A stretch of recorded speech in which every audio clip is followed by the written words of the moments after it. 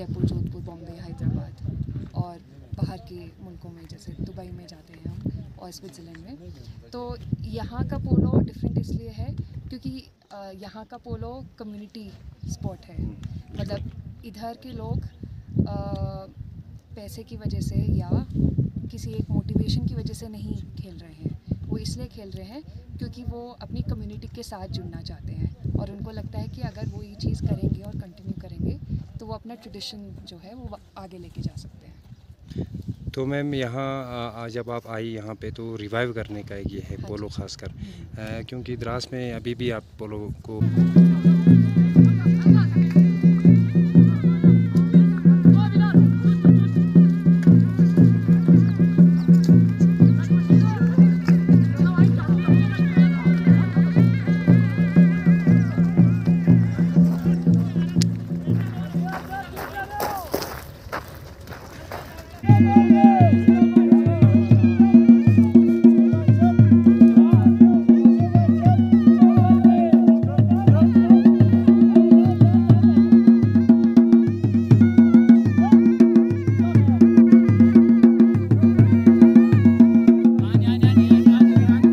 तो ला पोलो एसोसिएशन दिल्ली का बहुत शुक्रगुजार हूँ, जो Himalayan polo cultural and traditional development association के साथ यहाँ पे ला पोलो की वसात से एक एग्जीबिशन मैच ट्रेडिशनल पोलो का दिखाया जा रहा है।